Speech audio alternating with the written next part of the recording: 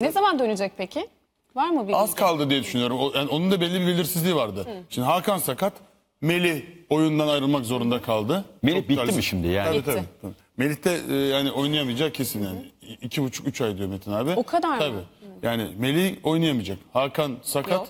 Ramazan baygın.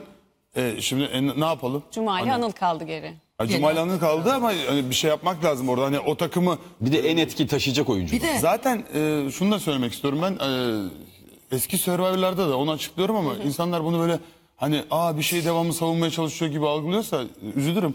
Yani Survivor zaten e, sürekli olarak prodüksiyonun içinde olduğu, e, değişiklikler yapılan ama sonuçta da bireysel bir oyun. Evet. Siz eğer Survivor'ı kazanacaksanız bunu kimse engelleyemez. Niye engelleyemez? Çünkü halk karar veriyor, seyircilerimiz karar veriyor.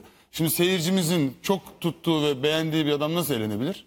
Var mı ihtimali? Yok. Takımı kaybetse de eğlenmez. Sıfır. Kazansa da eğlenmez. O zaman demek ki kazanacak arkadaşımızın kazanma ihtimali üzerine herhangi bir değişiklik yapılmıyor. Güzel olan taraf bu.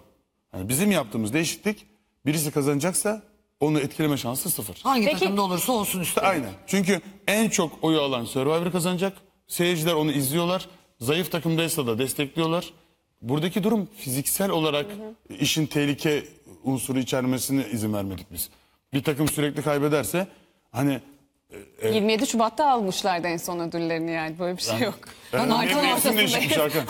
Başka bir mevsim. yani. Ben Hakan'dan, Kışın almışlar yani. Hakan'dan da endişe ediyorum. Şimdi hani oynayacak dediniz ya çok şey bekleniyor. Hani takım denkleşsin diye o tarafa geçti. Peki formsuz bir aydır oynamıyor. O boyun burada.